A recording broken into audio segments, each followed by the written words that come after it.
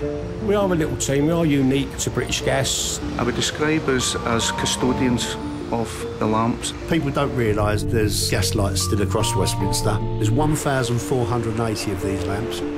From 1813, we've been looking after the lamps under the Gas Light and Coke Company, which is now British Gas. To get to the lamp themselves, they need a ladder. If you're walking about the streets of London, you might see a ladder chained to a gas lamp. When you put a set of ladders up in London, folks stop. And they're fascinated by the job that we do. We set the time of day the lamp comes on and goes off. And yeah, we wind them up every 14 days. We get more and more requests now from architects who are wanting to modernise a building. The architects are adding in more of those original features which become the gas lamp. So you're getting a nice modern building, looking old, with a modern gas lamp. It's basically traffic that see, we get a lot of problems with, with the lamps when they get broken. And what we tend to do is take that lamp away, get it repaired, put it back.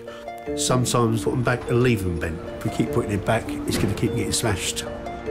We take some underprivileged children round on a tour and we took them into a place called Goodwin's Court, which is very Dickens. It's got the bow windows. A lot of the, the movie teams will go there. So we've got a lamp there. I've got three lamps here, but the lamp in the corner is the filming from Harry Potter where he was given his wand, which I think is, is Diagon Alley.